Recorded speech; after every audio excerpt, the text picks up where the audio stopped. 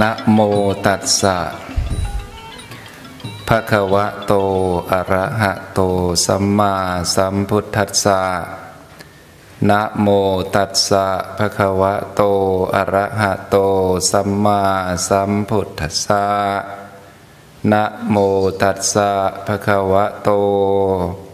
อะระหะโต สัมมาสัมพุทธัสสะ ยังปณรัญญามหาปทวี อุณาเทตวาพรามนัสสะปิยปุเตสุทินเนสุ ยาวะพรหมโลกา เอกโกลาหลังชาตัง เตนาปิ พิชิตหะทยาวิยะ หิมวันตะวาสิโน เทวตาโยเตสังพระมเนนะนิยมานานังตังวิลาปังสุตวา พระมนัสสะทินนภาวังสุตวา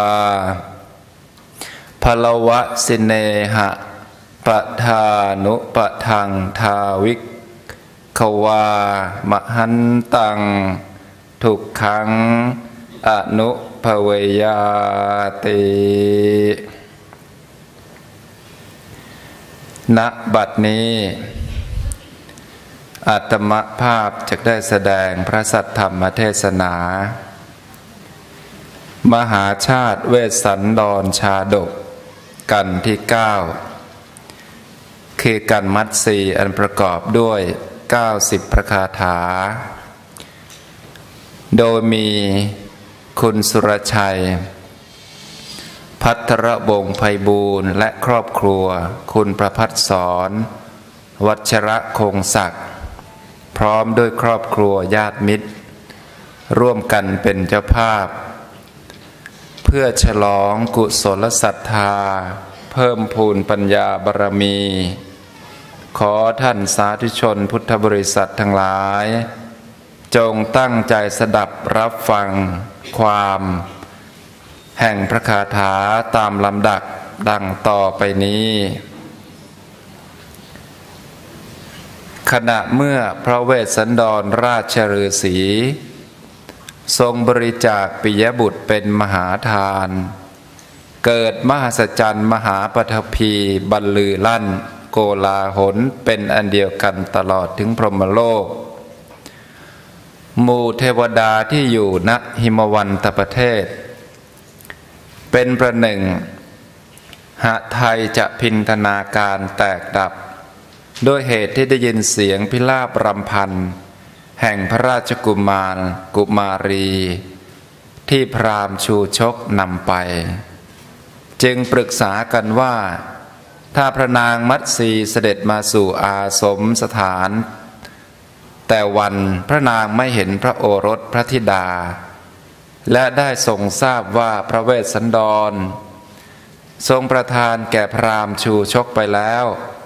จะเสด็จตามไปด้วยความรักความอาลัย ก็จะพึงเสวยทุกใหญ่ลำดับนั้น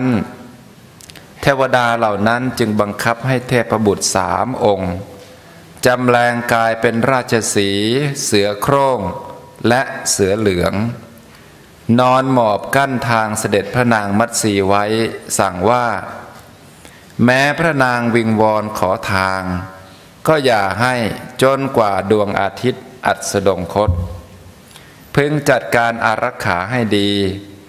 อย่าให้พาลมิกะในป่าใหญ่ เบียดเบียนทำร้ายพระนางจนกว่าจะเสด็จเข้าอาสมด้วยแสงจันทร์ ท่านทั้งหลายจงรักษาพระนางไว้ด้วยดี เทพบุตรทั้งสามรับคำแล้ว ต่างจำแรงกายเป็นราชสี เป็นเสือโคร่ง เป็นเสือเหลือง นอนหมอบเรียงกันอยู่ในทางที่พระนางจะเสด็จมา ส่วนพระนางมัตสีหวันพระไทยว่า วันนี้เราฝันร้ายจะขาพลาผลแล้วกลับแต่วัน ระหว่างที่ทรงแสวงหาผลไม้ เสียมหลุดจากพระหัตถ์กระเช้าก็หลุดจากพระอังสา พระเนตรเบื้องขวาก็ขมเมนเราพฤกษาชาติที่มีผลก็ไม่มี พฤกษาชาติที่ไม่เคยมีผลก็ปรากฏว่ามีผล ทิศทั้งปวงก็ไม่ปรากฏ พระนางทรงพิจารณาว่าวันนี้เป็นอย่างไรหนอ เหตุการณ์อะไรจะเกิดแก่เรา แก่ลูกรักทั้งสองของเรา หรือแก่พระเวสสันดรพระราชสวามี พระนางจึงรีบกลับอาสม ก็ได้พบกับเทพบุตรจำแรงในระหว่างทาง ทรงวิงวอนขอทางว่า เราจะรีบนำผลไม้เหล่านี้ ไปเพื่อพระราชสวามีและลูกรักทั้งสอง ทางเดินนี้เป็นทางที่เดินได้เพียงคนเดียว เราไม่เห็นทางอื่น ซึ่งจะพึงแยกไปสู่อาสมได้ ข้าขอนอบน้อมพญาพาลมิก ผู้มีกำลังมากในป่า ท่านทั้งหลายจงให้มักคาแก่ข้า ผู้ขอเถิด ข้าเป็นมเหสีของพระเวสสันดรราชบุตร แห่งสีพีผู้ถูกในประเทศจากแคว้น ทรงเพศดาบทอยู่ในอาสม ขอท่านทั้งหลายโปรดให้ทางแก่ข้าเพื่อให้ลูกทั้งสอง ได้บริโภครากไม้ ผลไม้พักษานี้ก็มีไม่น้อย ข้าขอแบ่งให้พวกท่านกึ่งหนึ่ง ท่านทั้งหลายจงให้มักคาแก่ข้าผู้ขอเถิด เมื่อพระนางมัตสีทรงพิไรรำพันอยู่ เหล่ามริคะจำแรงได้ฟังพระวาจาอันอ่อนหวาน ประกอบด้วยความน่าสงสาร เห็นว่าบัดนี้เป็นเวลาที่สมควร จะให้มักคาแก่พระนาง จึงลุกขึ้นแล้วหลีกไป เมื่อพาลมิกคะทั้งสามหลีกไป พระนางมัตสีรีบเสด็จไปยังอาสม วันนั้นเป็นวันอุโบสถ พระนางเสด็จถึงท้ายที่จงกรมไม่เห็นพระลูกรักทั้งสอง ซึ่งเคยเล่นในที่นั้นๆ จึงตรัสว่า พระลูกน้อยทั้งสองขมุกขมอมไปด้วยฝุ่น เคยลุกขึ้นยืนต้อนรับแม่ ณที่นี้ ดุดลูกวัวอ่อนยืนคอยแม่โคนม บัดนี้เจ้าไปอยู่ที่ไหนเสียแล้ว พระลูกน้อยทั้งสองขมุกขมอมไปด้วยฝุ่น เคยลุกขึ้นยืนต้อนรับแม่ณที่นี้ดุดหง ยืนอยู่บนเปลือกตม บัดนี้ เจ้าทั้งสองไปอยู่ที่ไหนเสียเล่า พระลูกน้อยทั้งสองของแม่ ผู้ขมุกขมอมไปด้วยฝุ่น เจ้าเคยร่าเริงหันษาวิ่งมาต้อนรับแม่ ดุดมิขชาติชูหู วิ่งเล่นไปโดยรอบประหนึ่ง ยังหัวใจแม่ให้ยินดี บัดนี้เจ้าทั้งสองหายไปเส้นที่ไหนเล่า วันนี้ แม่ออกไปหาพลาผลกลับมา ก็ไม่เห็นชาลีและกันหาชินาลูกรักทั้งสอง ไม่เห็นรอยบาดที่ข้างภูเขาและกองทรายที่ลูกกองไว้ ลูกไปอยู่เสียที่ไหน ที่อาสมก็เงียบเสียง แม้แต่ฝูงนกฝูงกาก็ไม่มี ลูกทั้งสองของแม่ คงจักสิ้นชนมาชีพเสียแล้วแน่กระมัง พระนางมัตสีพิลาบรำพันอยู่ด้วยประการชนี้ เสด็จเข้าไปเฝ้าพระเวสสันดร ปรงกระเช้าผลไม้ลง เห็นพระองค์ประทับนั่งนิ่งอยู่ เมื่อไม่เห็นสองพระองค์จึงเข้าไปกราบทูลถามว่า ข้าแต่พระองค์ผู้เจริญ ใครนำลูกทั้งสองของหม่อมชันไปเสียไปที่ไหนเล่า พระองค์ส่งลูกไปเฝ้าพระศรีวีราช ศรีวีราชแห่งกรุงเชตุดร หรือว่าเธอทั้งสองบรรทมหลับในบรรณศาลา หรือเธอขนขวายออกไปเล่นข้างนอก เส้นพระเกศาของลูกทั้งสอง ก็ไม่ปรากฏแม้รอยพระหัตถ์และพระบาทก็ไม่ปรากฏ ลูกทั้งสองของหม่อมชันอันผู้ใดนำไปเล่า พระนางกราบทูลอย่างนี้แล้ว พระเวสสันดรก็ไม่ได้ตรัสอะไร ประทับนั่งนิ่งอยู่ พระนางจึงกราบทูลว่าข้าแต่สมมุติเทพ เหตุไรพระองค์จึงไม่ตรัสกับหม่อมฉันหม่อมฉันมีความผิดอย่างใดหรือ การที่พระองค์ทรงนิ่ง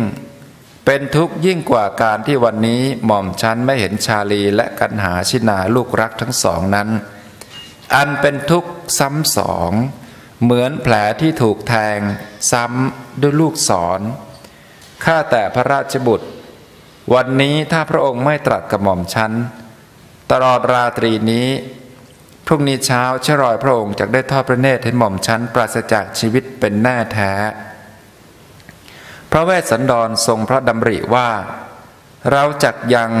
พระนางให้ละความโศกถึงลูกรักทั้งสอง ด้วยคำปรามาสจึงตรัสว่า มัตสี เธอเป็นราชบุตรีมีรูปงาม มียศ ออกไปเสาะหาผลไม้แต่เช้าฉไหนเล่าจึงกลับมาจนเย็นเช่นนี้ พระนางมัตสีสดับพระราชดำรัสดังนั้นจึงทูลว่า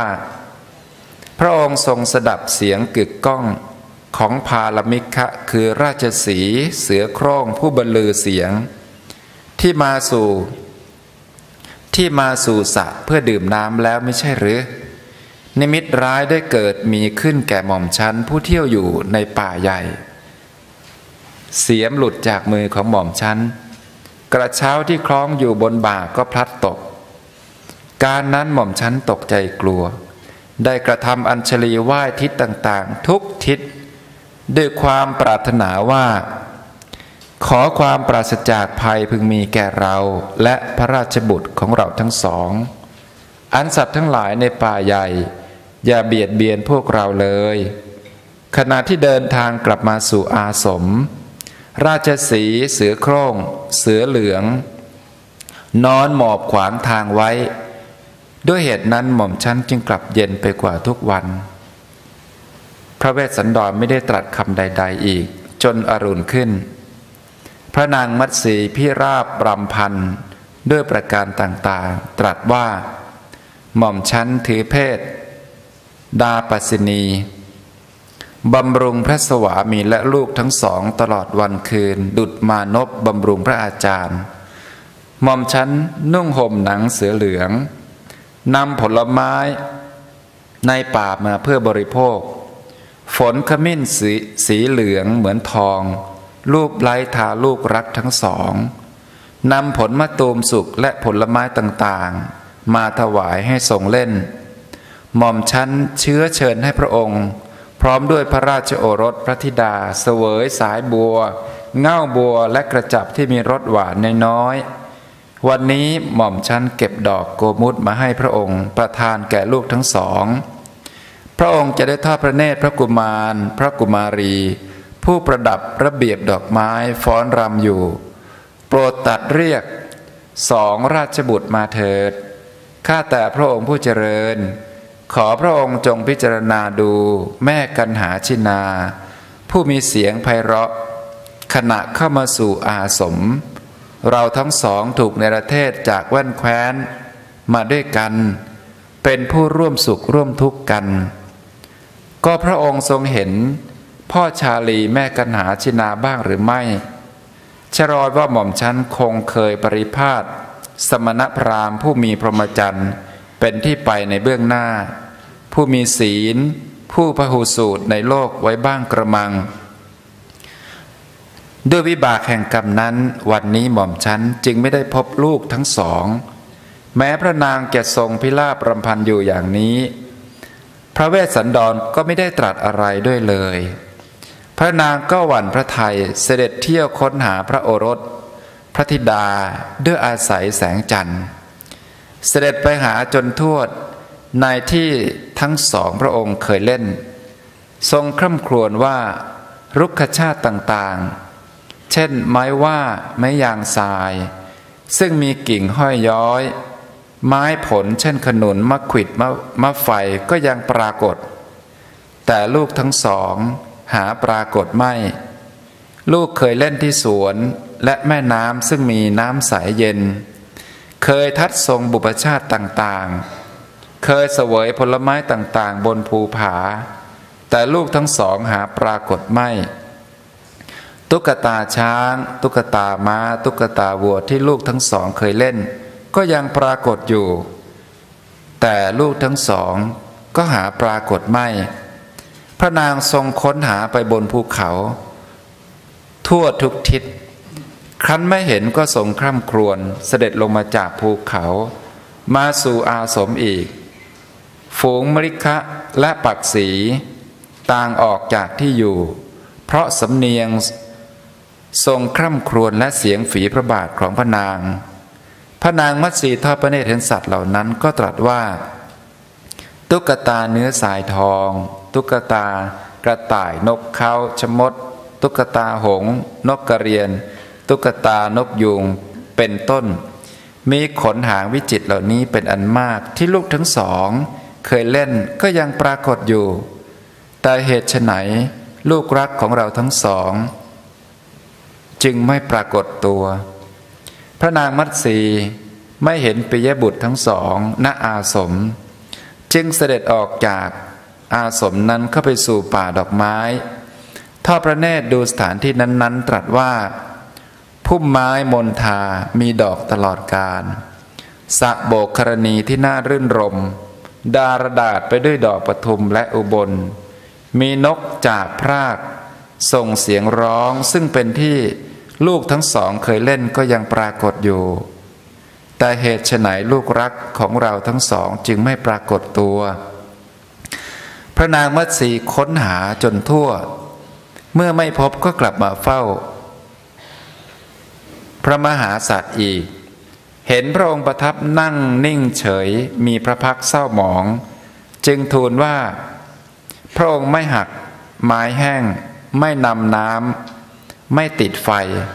วันนี้เป็นฉไนหนอข้าแต่พระสวามี เมื่อก่อนพระองค์เคยหักฟืนนำน้ำมาตั้งไว้ก่อไฟในกระเบื้องฐานเพลิง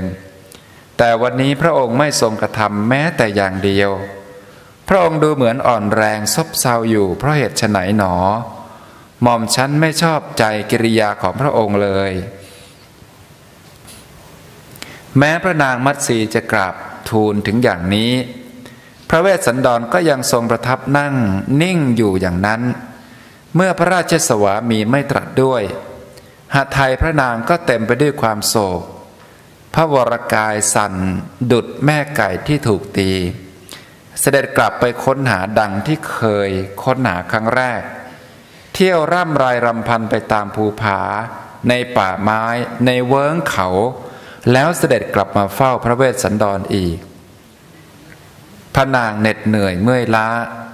กราบทูลว่า ข้าแต่พระราชสวามี หม่อมฉันไม่พบคนที่นำลูกทั้งสองไป ลูกทั้งสอง คงสิ้นพระชนมาชีพแล้ว แม้กระนั้น พระเวสสันดรก็ไม่ได้ตรัสคำใดอีกเลย ได้ยินว่าสถานที่พระนางเสด็จเที่ยวค้นหาพระโอรสพระธิดา ตลอดราตรีหนึ่งนั้น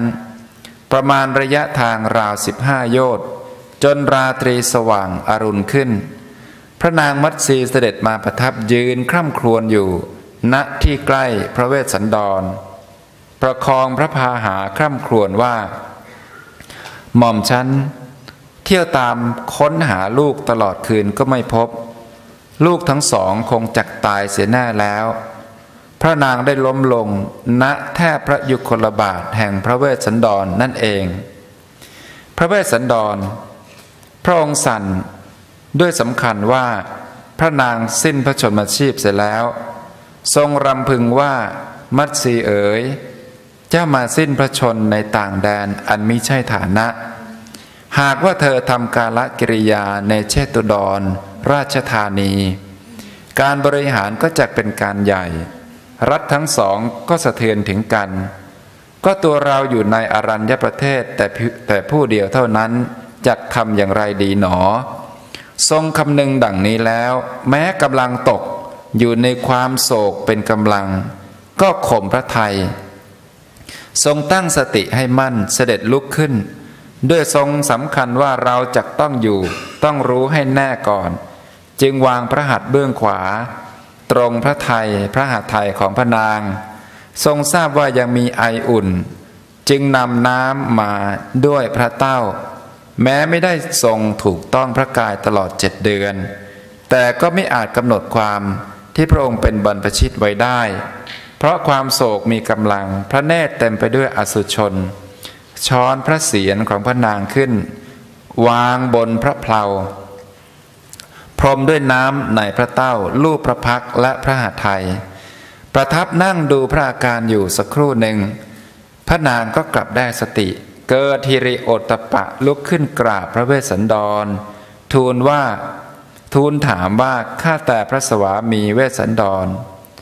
ลูกทั้งสองของหม่อมชั้นหายไปไหน พระเวสสันดรตรัสตอบว่า พระเทวี ฉันได้ให้ลูกทั้งสอง ไปเสียแล้ว เพื่อไปเป็นทาสแห่งพราหมณ์แก่คนหนึ่ง เมื่อวานนี้ในระหว่างที่เธออยู่ในราวป่า พระนางมัตสีทรงตรัสพอด้วยความน้อยใจว่าข้าแต่สมมุติเทพ พระองค์ประทานลูกทั้งสองแก่พรามแล้ว เหตุไหน จึงไม่รับสั่งให้หม่อมชั้นผู้คร่ำครวญเที่ยวอยู่ตลอดราตรี ได้รู้ความนี้บ้าง พระเวสสันดรตรัสว่ามัตสี เธอจงยินดีเถิดอย่าคร่ำครวญอีกเลย ถ้าเราทั้งสองยังมีชีวิตอยู่ ก็จะมีโอกาสได้พบลูกทั้งสองที่พรามนำไป ดูก่อนมัตสีเธอจงอนุโมทนายบุตรตรทาน อันเป็นทานอันประเสริฐของฉัน แม้ว่าลูกทั้งสองจะเป็นที่รักยิ่งกว่าชีวิต เป็นแก้วตาดวงใจของมารดาบิดาทั้งหลาย แต่พระโพธิญาณเป็นความปรารถนาอันสูงสุดยิ่งกว่า เมื่อเราพ้นแล้ว จะยังให้ผู้อื่นพ้นได้ด้วย เราข้ามฝั่งได้แล้วจักยังให้เทวดาและมนุษย์ข้ามได้ด้วย มัตสีเอ๋ย เธอจงละความอาลัยนั้นเถิด พระนางมัตสีฟังเหตุผลนั้นแล้วกราบทูลว่า ข้าแต่สมมุติเทพ หม่อมชั้นขออนุโมทนาปิยบุตรตรทาน อันประเสริฐของพระองค์ พระองค์ทรงบริจาค แล้วจงยังพระหฤทัยให้เลื่อมใส ทานนี้ขอจงเป็นปัจจัยให้สมดังปณิธาน ที่ทรงปรารถนาและทรงบำเพ็ญทานให้ยิ่งยิ่งขึ้นไปเถิด พระนางมัตสีทรงอนุโมทนา ปิยบุตรทานอันอุดม แห่งพระเวสสันดรด้วยประการฉนี้ เทศนาวสาเน ในการเป็นที่สุดแห่งพระธรรมเทศนากันมัตสีดังพระบาลีข้างต้นที่กล่าวว่ายังปณรัญญามหาปทวี อุณาเทตวาพรามนัสสะปิยปุตเตสุ ทินเนสุ ยาวะพรามโลกา เอกะโกลาหลังชาตังเตนาปิ พิชิตหัตถยาวิยะ หิมวันตาวาสิโน เทวตาโยเตสังพรามเนนะ นิยมานานัง ตังวิลาปังสุตวา พรามนัสสะทินภาวังสุตวาภละวะสินเนหนะปทานุปทัง ทาวิความหันตัง ทุกขัง อนุภาเวยาติ ขณะเมื่อพระเวสสันดรทรงบริจาคปิยบุตรเป็นมหาทาน เกิดมหาสัจจันมหาปฐพีบรรลือลั่นโกลาหนเป็นอันเดียวกันตลอดถึงพรหมโลกมูเทวดาที่อยู่ณหิมวันตรประเทศ มีหาไทยหวาดหวั่นด้วยเหตุที่ได้ยินเสียงพิลาบรำพัน แห่งพระราชกุมาร พระราชกุมารีที่ชูชกนำไป จึงปรึกษากันว่า ถ้าพระนางมัตสีเสด็จกลับสู่อาสมแต่วัน พระนางไม่เห็นพระโอรสพระธิดา และได้ทรงทราบว่าเวสสันพระเวสสันดรทรงประทานแก่ชูชกไปแล้ว จะพึงเสด็จตามไปด้วยความรักความอาลัยก็จะพึงเกิดทุกข์ใหญ่ดังนี้เป็นต้นพระนางมัตสีทรงเป็นคู่บุญคู่บารมีที่ประเสริฐสุดของพระเวสสันดร ทรงพักดีร่วมทุกข์ร่วมสุขกับพระสวามี โดยไม่คำนึงถึงความยากลำบากใด ๆ ที่จะต้องผจญในภายภาคหน้า ทรงอุทิศตนปฏิบัติหน้าที่ภรยาและมารดาอันประเสริฐ ด้วยความเต็มพระทัยทรงมีพระปัญญาคล้อยตามพระราชปณิธานของพระเวสสันดร ส่งเสริมให้พระองค์ทรงบำเพ็ญบารมี เพื่อความสุขของสรรพสัตว์ทั้งหลาย แม้จะมีความเศร้าโศกอะไรในพระโอรส พระธิดาเพียงใดก็ตาม ขออานิสงส์แห่งธรรมทานบารมี ที่ทุกท่านได้บำเพ็ญให้เป็นไปณบัดนี้ จงเป็นพลวะปัจจัยส่งเสริม ให้ท่านผู้เป็นเจ้าภาพพระธรรมเทศนากันนี้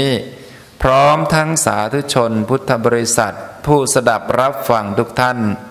จงประสบแต่ความสุขความเจริญ ยิ่งด้วยอายุวันนะสุขะพละปฏิพานธนาสารสมบัติทุกประการกับทั้งเป็นปัจจัยแห่งการรู้แจ้งเห็นจริงในอริยสัจธรรม อันเป็นทางนำไปสู่การพ้นทุกข์ คือเข้าสู่พระนิพพานเป็นที่สุด การแสดงพระธรรมเทศนา มหาชาติเวสันดรชาดก การมัดสีอันประกอบด้วย 90 พระคาถา ก็สมควรแก่เวลา เอวังก็มีด้วยประการฉนี้